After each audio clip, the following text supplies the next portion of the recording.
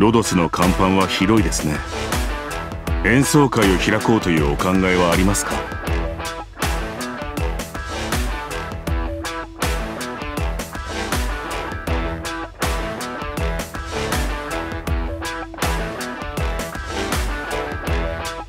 調律は済ませました。いつでも演奏できます。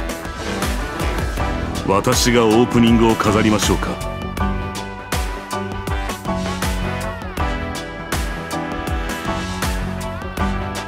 私の演奏で震えられることを光栄に思うといいですよ